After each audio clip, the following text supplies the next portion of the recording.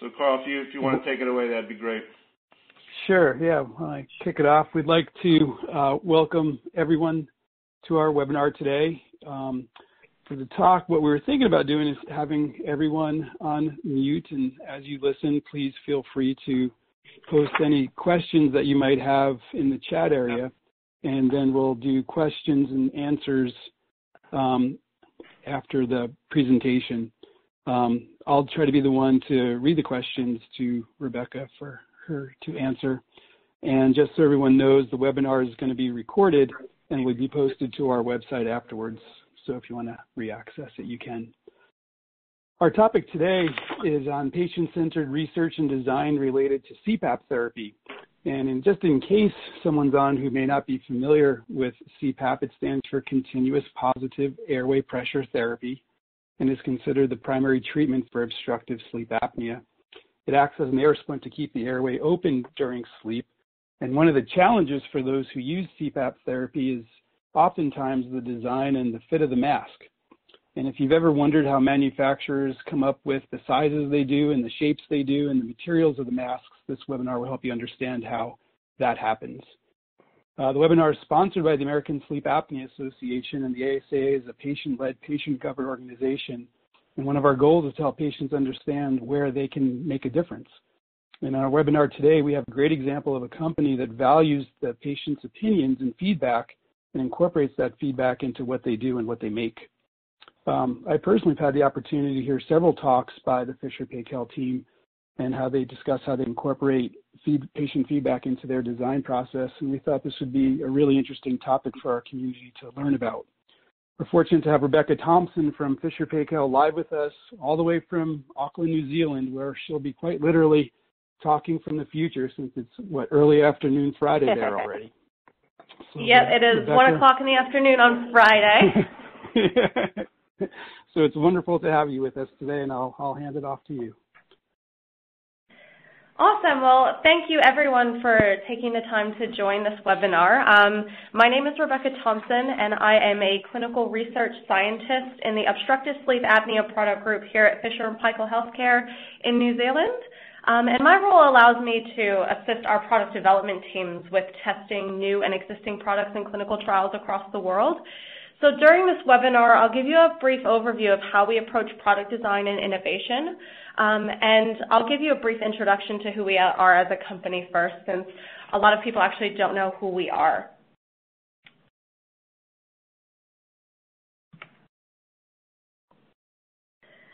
So at Fisher & Paykel Healthcare, our work is driven by the desire to provide high-quality care to patients. And we can do this by improving care and outcomes through inspired and world-leading healthcare solutions. And this is actually our motto, and this is what we follow every single day. This means that every product we design, every decision we make, and every experience we provide is always about doing what is best for our patients. So where did we start? So Fisher & Paykel wasn't always the large corporation it was today. Um, and in fact, Fisher & Paykel Healthcare was born out of a whiteware company who specialized in importing and manufacturing refrigerators and washing machines. Fisher & Paykel Appliances continues to operate today, but we became a standalone healthcare company in 2001. Um, our involvement in healthcare began in the late 1960s when a prototype humidifier was developed in New Zealand and was designed to be used with patients in intensive care units and hospitals. And this prototype was developed using a standard jam preserving jar.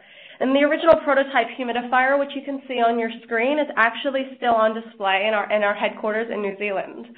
Our very first CPAP was released in 1992, and in 1998 we released the world's first integrated CPAP and humidifier, which has become a hallmark of all of our devices since. Since our humble beginnings, we have grown as a global leader in respiratory and acute care, humidification technology, and obstructive sleep apnea care, and boast over 4,100 employees across the world. And of this, over 2,000 employees are based in our New Zealand headquarters, and roughly a quarter of those spearhead research and development. So we do invest quite a bit of employee time, research, and money into um, research and development here in New Zealand. We also have a presence in over 120 countries, so you can pretty much find us um, anywhere across the world. Our vision across the OSA team is very simple. We're always working toward providing therapy that people want to use and that everyone can use. And we really believe that this is achieved through three avenues through easy interactions, through desirable experiences, and overall effective outcomes. And this vision remains at the core of all product development, from masks to devices to information technologies.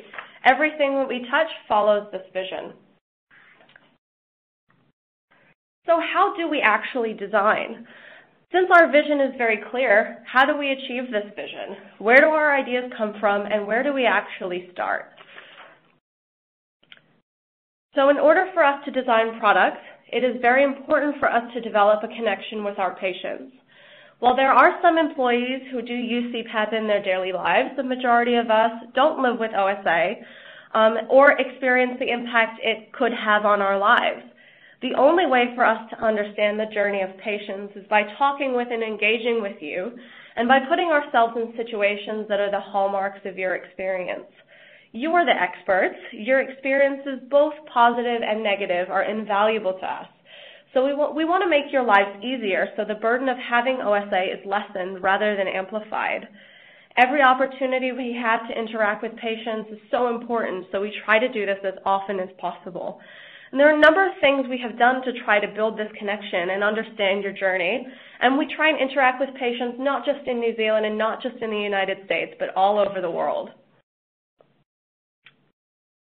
One of the things we've tried to do is have our developers experience a full sleep study in the lab.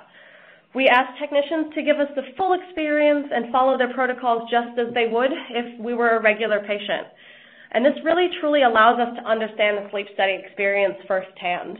We often find this experience both incredibly insightful and I'm sure, like most of you, incredibly uncomfortable. So we also have a respiratory therapist complete a full mask fitting and device setup with us.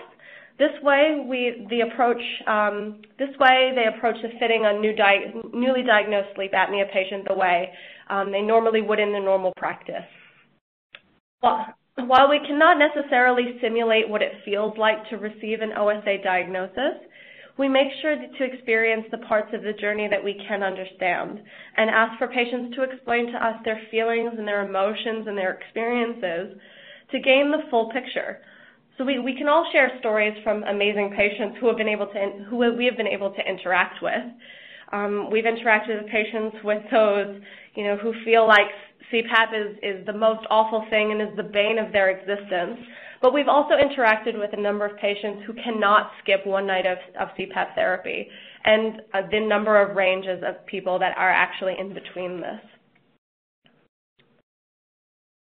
One of the things we also really like to do is go into patients' homes and observe their normal routines.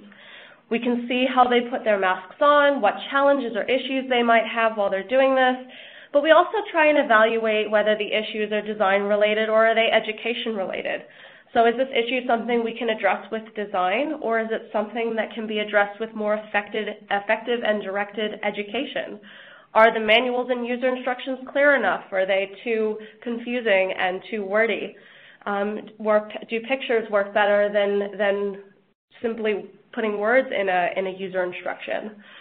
Um, some issues we've found while conducting this research are people struggling with twisting headgear, difficulty orienting the masks on their face, um, struggling with clips.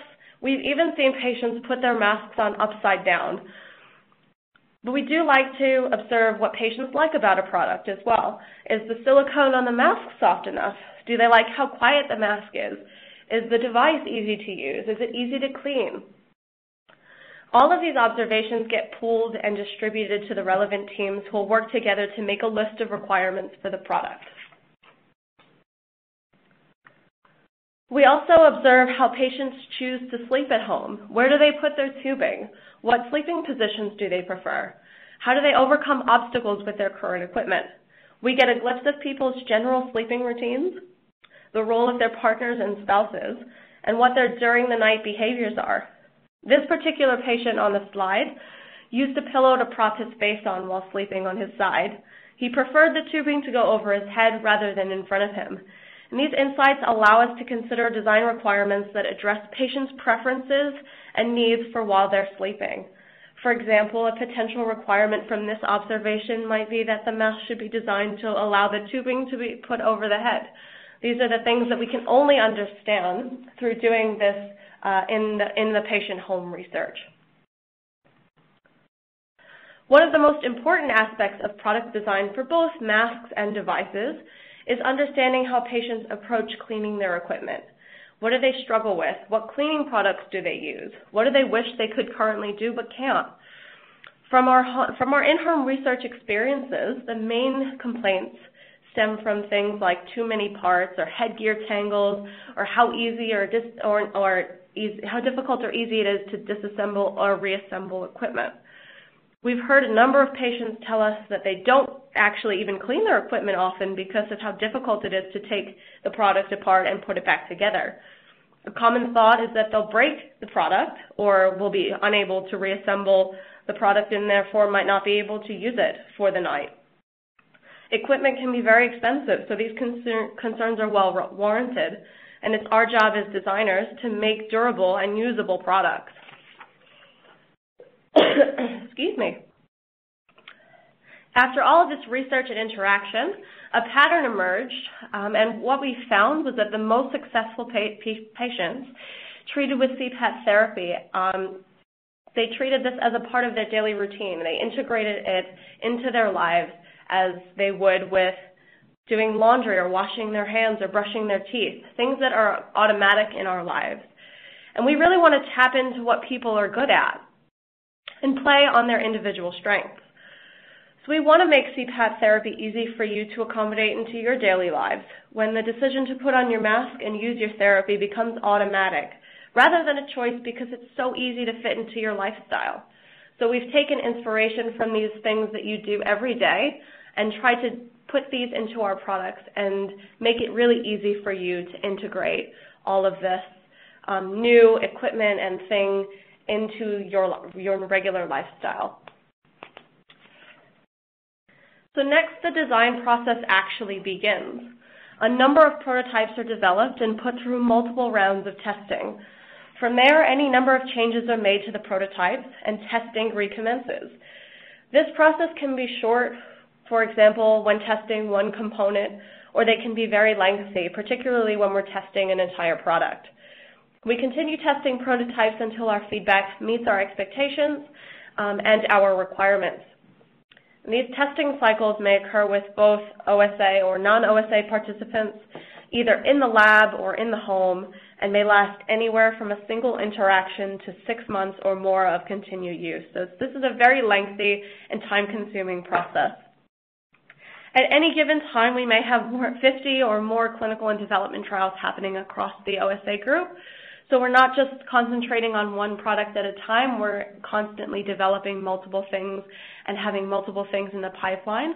And each piece and each component needs to be tested, whether that's with patients um, or in our lab through drop testing um, and manufacturing testing. Um, we do testing on every component of the process from start to finish, as well as the product. From a mask development perspective, we also examine anthropometric variations to help us design masks that fit as many faces as possible.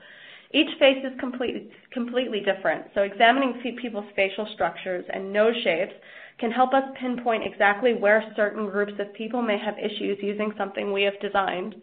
Within, with this information, we're able to actually try and design out flaws. So, for example, Full face mask users tend to complain about feeling discomfort from the pressure on the bridge of the nose. By taking images of people's nose shapes, we can potentially develop uh, solutions that aim to reduce the pressure on the bridge of the nose. We have actually addressed this in our current full face mask and nasal mask range with the Roll Fit Seal, which reduces the pressure on the bridge of the nose by providing an automatic adjustment to each patient's nasal bridge features. Um, so that what this allows the, the patient to do is to um, fit the mask and allow the mask to actually do the adjustment for them rather than doing anything else with reseating um, or figuring out the perfect place to put the mask for that one comfortable fit, it automatically adjusts for you. Another problem that we found with nasal pillow masks was uh, nostril irritation from the sta standard nasal prongs. So we've taken lots of images of people's nostril shapes and sizes, and we've tried to develop solutions to specifically address this, this issue. So we came up with our air pillow seal, which um, is found in our current nasal mask, uh, nasal pillows mask. And the, the air pillow seal actually inflates around the nostril rather than using traditional nasal prongs. So when you put the mask on um, and you turn your, the device on, um, the, the pressure from the device actually inflates the seal around the nostril and creates the seal that way, rather than having hard traditional nasal prongs that actually just sit in your nostrils. We're also invested in making our products aesthetically pleasing to all users. So some of the ways we've tried to do this is by listening to what patients actually want. So common themes from patients have included wanting something small, not, not obtrusive, with clean and soft lines, and essentially something that's designed to fit in with the aesthetic of the environment that the equipment is being used in. We've tried our best to make medical equipment not look too much like medical, medical equipment without actually sacrificing the use of the product. We've also focused on improving the ergonomics of our products. Ergonomics focuses on efficiency and interactions of humans with external systems.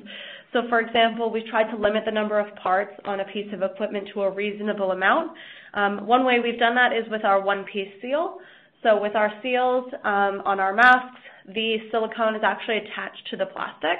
Um, so it all comes off in one piece. You can't separate it any further than that, and which makes it very easy to clean. We've also extensively tested uh, connection forces to ensure that the connections are made to withstand the pulling of the tube, but also so that the pieces are easy to, to, disconnect. So you don't feel like you're struggling to pull a piece apart or put it back together. It's just the right amount of force that allows you to continue using your products um, in, the, in the way you want to, but also in a way that allows you to easily disassemble and reassemble without difficulty. We've also developed structured headgear um, by using uh, special materials to reduce the likelihood of twisting um, while you're trying to orient the mask and, uh, and fit yourself every night. The final stage for us through product development is verification and validation. And this is a rigorous, detailed, and long process. So after we've gone through the full design process, um, we must confirm that we've met all of our requirements before we can obtain uh, registrations and approvals to make the product available in a country. So we call this verification and validation, and these are a bit difficult to to kind of remember the difference for. We struggle here every day trying to make sure that we get that right. Um, but verification is more of a confirmation that the product has successfully met the product specifications and requirements. So for example, if a device was required to display the time, during the verification process, it would be confirmed that the product could display the time. And validation is where the final product is put through its paces and is tested with real-world use over a period of time.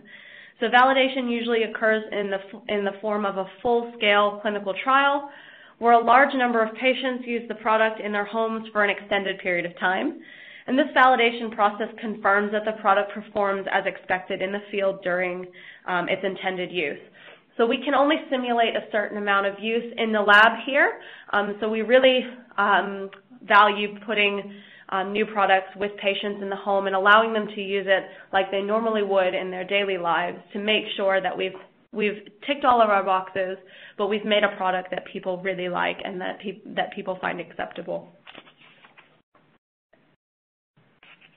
Our design processes main focus is, is on what the patient needs and what the patient wants, while we're also making sure that we're delivering the appropriate and highest quality care. So our processes have, have actually proven quite successful in the, in the most recent years and have resulted in acknowledgement of our state-of-the-art products through design awards from a number of in international independent bodies. So our newest mask, the, the Brevida, has recently been awarded the Red Dot Design Award this year, so we're very excited about that. But it's also a testament to how much time and effort we actually put into designing uh, masks and also developing that connection with our patients to really make a product that people want to use. So we hope to continue this process and gain better understanding of of every patient's journey and learn more as our portfolio grows. So I hope this webinar has provided you with a better understanding of how we conduct product design at Fisher & Paykel Healthcare and just how valuable and important you are to us during this process. If you have any questions, um, you can ask them here, um, or you can go to our website, www.fphcare.com. Um, or you can contact your usual equipment provider um, and they will um, either get in contact with us or they can help you with any of uh, our equipment. Thanks.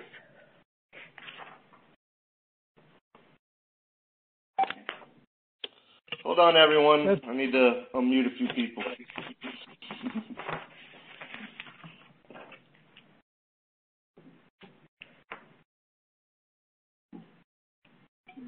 Can uh, can folks hear me? Yes, we can. Great. Thank you so much, Rebecca.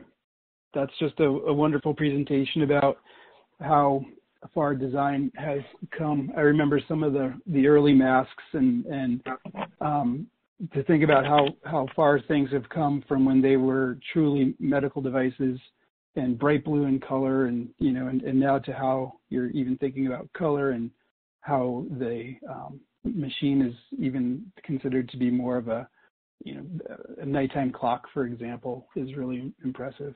A um, couple of questions that have come through on on the chat um, include: Do you have your own sleep lab? So do you have your own internal uh, sleep facility, or do do you do most of this stuff outside? We do. We have a three-bed sleep lab, which is really quite mm. convenient for the very early stages of development when we're not quite ready to um, have patients test. Um, but and it's really handy because it allows our developers to actually spend the night in the lab with the patients and observe what they're doing while they're sleeping. Um, and it's it's really um, a, a, it's not a huge facility, but it'll it it serves the purpose that we need. Um, but we also do have relationships with a number of labs in New Zealand and in the United States and Canada um, that we do a, a, lot of testing with um, outside of our lab. That's great. Another question is, why are the mask tubes so large?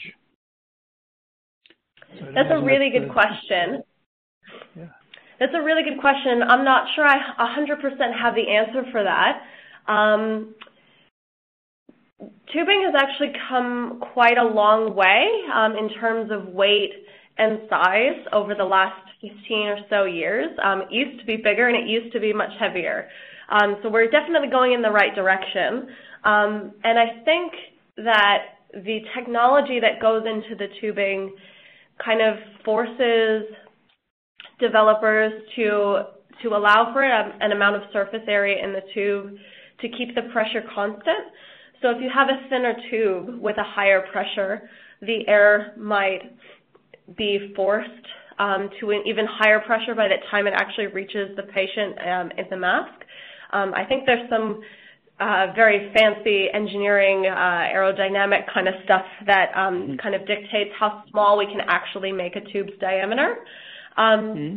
If you also look at um, tubes that have um, a heated coil like our ThermoSmart tube does, it does make the tube a bit thicker because we've got to account for that heated tube, uh, the, heat, the, the coil that's actually in the tube. Um, but it's definitely something that we've we've gotten a lot of feedback on, and I'm sure other manufacturers have as well. And it's something that we always try and address um, as we do develop um, tubing in the future is how do we make it as, as slim and compact as possible. Sure, yeah. No, because that's one of the things that, that patients do, do struggle with in, in terms of getting wrapped around with it and, and that sort of thing. So that was a good question. I yep. hadn't considered that one before. Yeah. Um, another question is, are any parts, plastic parts of the mask itself potentially recyclable? Because we know that there's um, patients can get re- or replace masks sometimes as early as every three months or every six months. So someone just asked about hmm. whether or not they're recyclable. Um, that's a really good question as well. Um, I think there are, um, especially I know for our uh, Simplus and our ESON masks, there's a separate plastic frame that I believe can be recycled. Um, that's something to check with your equipment provider on. They should have that information from us directly. I'm not 100% sure. Um, but that is something that we do think about. I think most of our instructions are just that you can throw everything out in, in your regular trash, but I think it is also possible to recycle the, the plastic, uh, the fully plastic bits of, of the masks. Right. Okay. And re related to, to that topic, someone just came in with a question about um, the potential for making masks more durable so that they could potentially last longer so we don't have to think about recycling them in three to six months time. Um, and, and related to that is, yeah, is then the fit so that the, the fit and the seal can last longer if possible. Absolutely. Um, our masks now have started to be designed where you don't actually have to replace the entire mask every three to six months. You can mm-hmm. replace the components that have worn out um, and actually need replacing. So for the um, for all of our current um, recent masks, the the the, the state of the art ones that are out now, the Simplus, the ESON 2, and the Brevida, um, the seals are removable from the main frame so that you don't have to actually replace the entire frame. You can just get a new seal, um, or you can just get a new headgear. They're all separated, um, so you can only you only have to replace the parts that need replacing um, at certain intervals. So you don't have to replace everything all at once all the time. Great, that's really important. Um, let's see. Uh, another question has to do with folks who may have allergies to some components. Um, what, are, yep. what options might they have? Yep. So all of our masks um, undergo bio, biocompatibility testing before um, they're released to the market. Um, and we do take into account um, potential for allergies in the materials. So we try and use, um, especially in the silicone area, we try and find uh, versions of silicone that are non-allergenic or hypoallergenic, um, and we're able to um, address that um, with the types of material, materials that we use. Um, it is something that we always think about, and we don't want anybody to have an allergic reaction from one of our products. Um, so that is extensively tested. And as, as new materials get developed and new compounds get developed, um, that are hypoallergenic and do address um, people with um, allergy issues, that's definitely something that we'll incorporate um, into our products as we go forward. Right. Okay. Uh, another one on cleaning. Are ozone cleaners hard on the mask interface material? Do you find that it potentially uh, degrades it or wears them out faster? Um, not necessarily with our masks. Um, I've heard some things uh, across the board of, of other people having issues with with like the the SoClean systems, um, but we do try and actually um, work with the SoClean uh, team and have our products validated with them so that we know that they're going to be appropriately cleaned if someone was to have a SoClean um, or an ozone system. Um, so that's something we we take into account on the front end and and make sure we do that testing uh, before a product gets released into the market. Great. Um, another topic has to do with the role for um, potentially custom mask fitting, and actually this is this is my own question for you. Um, about, gosh, I want to say seven, eight years ago, I heard a talk by a, a Silicon Valley design company.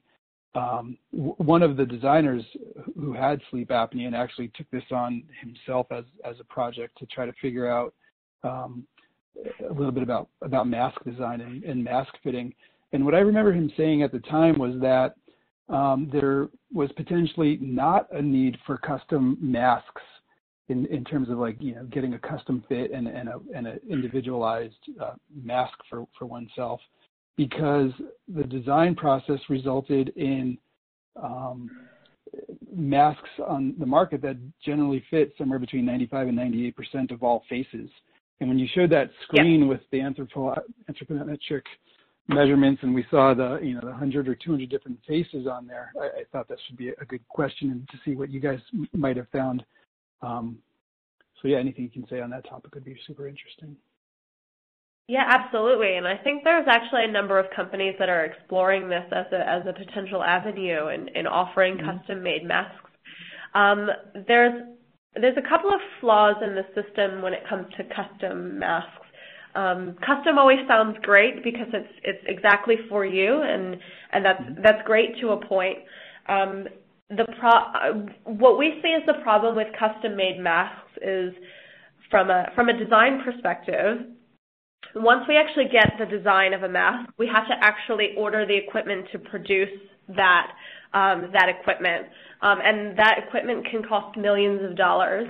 Um, and to make an individual mold every time you had one mask that you needed to make custom for somebody costs extra for the manufacturer. So what that's going to do in turn is going to increase the price of the mask to a, a, an astronomical level.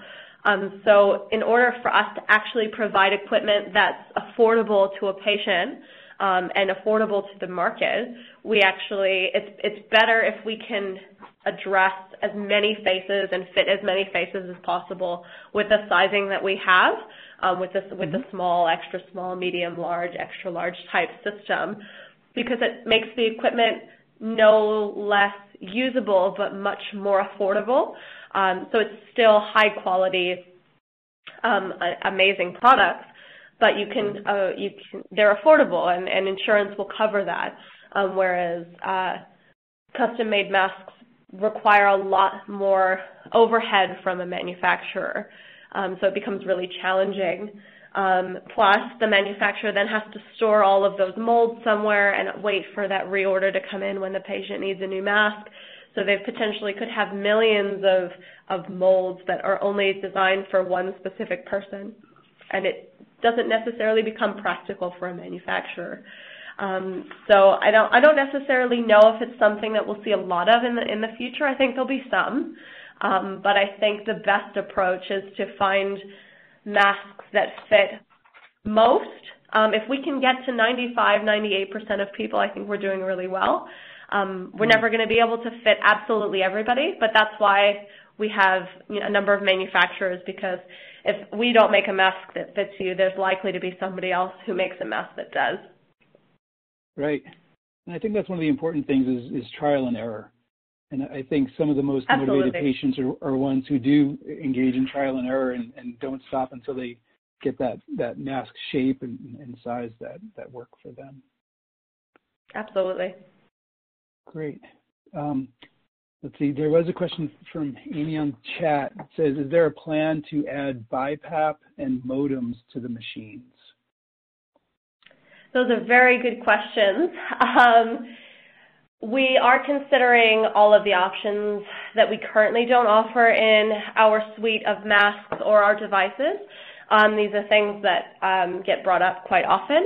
Um, so it, it, will be a wait and see exercise um, for you guys, unfortunately. Um, but I, I believe that as we move forward, we will address all of the gaps that we currently have um, in the market. And I think you'll all be very, very excited about what we've got coming down the pipeline. Great. And another question is on um, pediatrics masks and yep. F&P and whether you have either in the pipeline or what do you have going in? Um, we actually do have a neonatal division that um, produces um, equipment for uh, newborn babies. Um, so that is something we do have some experience in.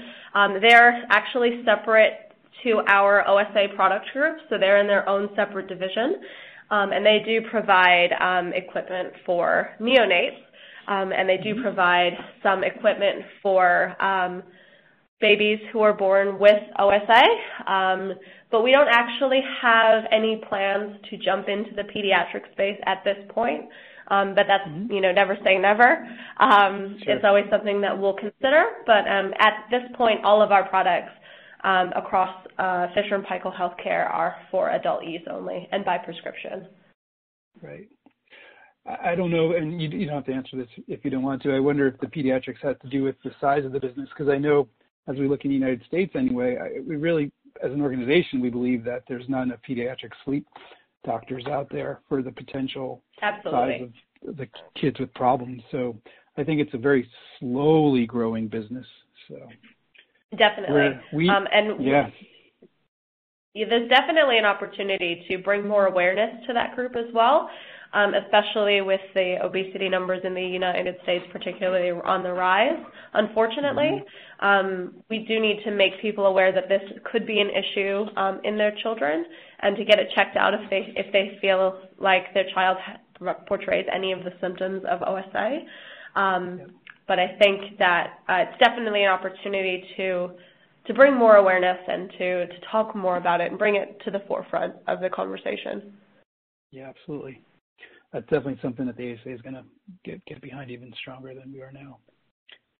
Awesome. Okay, another question. I'm the only one that wears my mask so as to not share germs.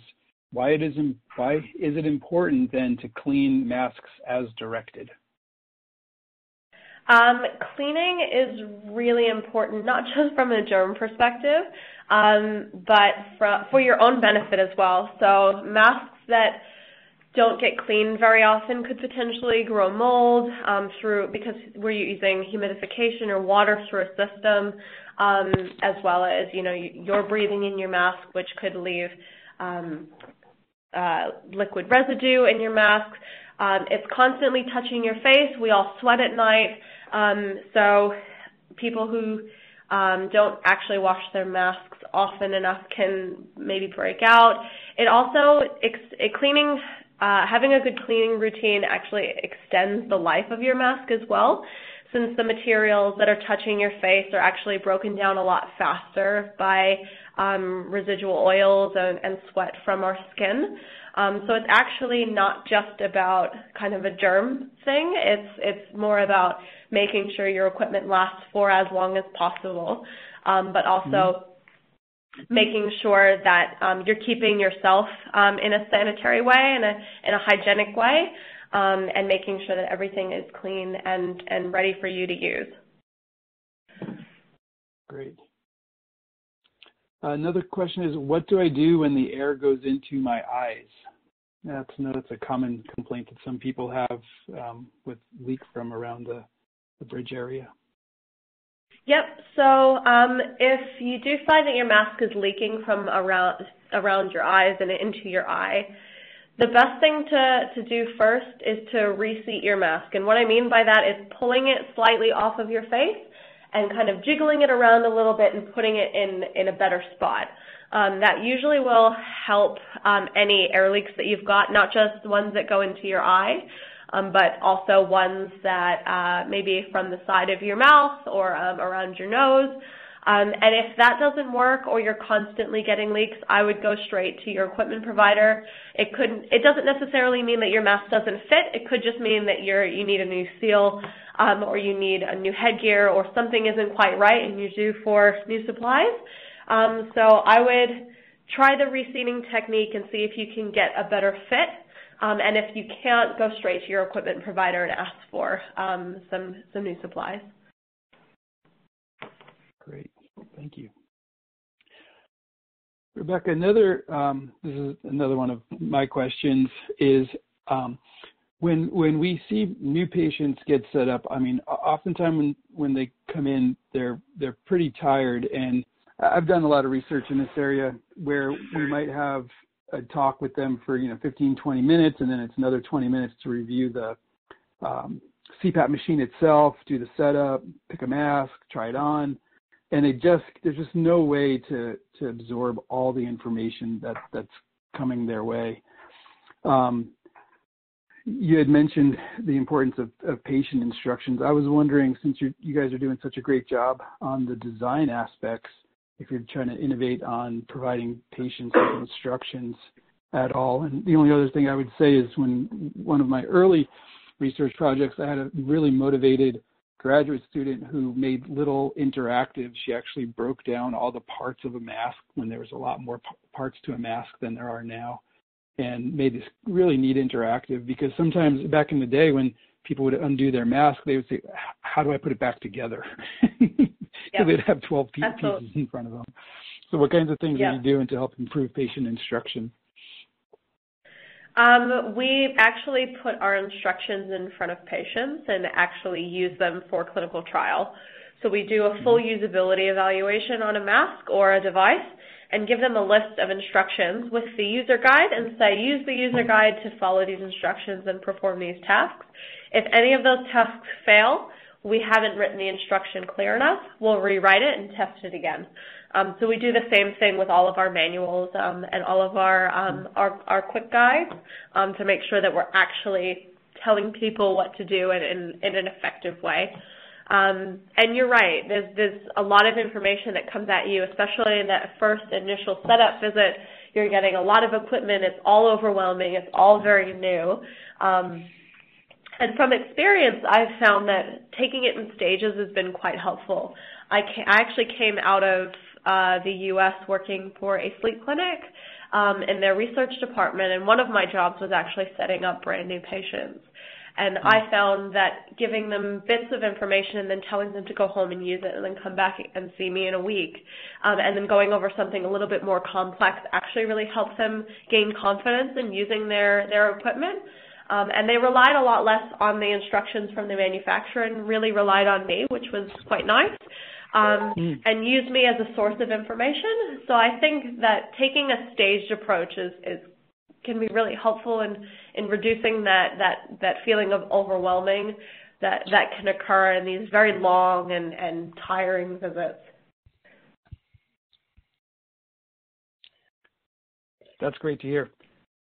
Yeah, I think that's so important, especially over time. I mean, I've always considered getting patients started as a several day or even a week or two process. So that's wonderful. Yep. yep. Um, let's see, there's another question in chat. Will there be or is there an oral appliance offered, um, possibly some type of hybrid mask? Um, we have a oral mask called the Oracle. Um, it has been around for a very long time um, and we're not actively updating it at this point, but it is uh, a great mask for the people that love it and use it. Um, we we have a number of patients that actually order them in at 10 at a time because they're just so afraid that they're not going to be able to get it anymore. Um, so basically what it is is it kind of functions like an oral appliance, but it still delivers pressure. Um, but it doesn't sit on the nose or doesn't sit on the face. It just sits in the mouth. Um, you can see the Oracle on our website if you've got any um, questions or concerns about what it looks like um, and how it works. Um, but it's, we've, we've done a, a lot of testing with it, and it's just as effective as a nasal mask. So you're going to receive the same therapy, but it might not be as as um, as on your face and, and potentially annoying as um, as other mm-hmm. masks can be. Um, we are the only manufacturer that offers an oral mask at this point. Um, so if, you're, if that's an option that you want to explore, um, you can go to your equipment provider or go to our website and learn a bit more about that. Mm-hmm. Great. I don't see any other questions coming through. Um, I did want to ask one more on, on lifestyle because I think that's just so important. Um, my training is behavioral um, sleep medicine, and, and so um, I oftentimes look at the use of um, CPAP as, as really an action that, that someone has to take. And, and so with, with the approach that you guys are, are taking in terms of incorporating it into the patient's bedtime routine. What can you speak a little bit more about that and some of the things you've learned about um, what works and, and, what doesn't work? Yeah, absolutely. Um, so we've learned a lot from patients that they they don't want to use something that doesn't fit into what they normally do that puts them too far out of their routine. Um, that makes it some having OSA and and experiencing the burden of OSA is is important enough to understand, but then you add this completely left field, kind of scary um, piece of equipment into the equation that you now have to use at night in the in the most sensitive part of your house, in your bedroom, um, and you've got your kids that could see you, you got your your wife or your husband that could see you, your your partner. Um, it's it's a very sensitive environment. So for us, we want to make sure that when somebody walks into your bedroom, if you're doing a house tour, you've just moved into this great house and you've got your CPAP on your side table, you know, we don't want people to, to point at that and say, oh, what's that? We want it to fit in with the environment that, that is in your life um, and is in your house. We don't want something to stand out that's, that overtly says, I've got something wrong with me, ask me about it. Um, mm-hmm. Although I'm sure some people are like that. Um, mm-hmm. But but for us, we want to make it as seamless as possible. Um, and we really understand that it, it's, it's so hard to integrate this new piece of equipment into your, into your daily routines and into your lifestyle.